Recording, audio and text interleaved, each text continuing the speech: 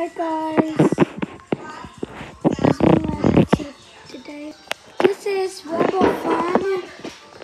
The weird place. And I know way and I know clip. I'm gonna. And the real life place is scary.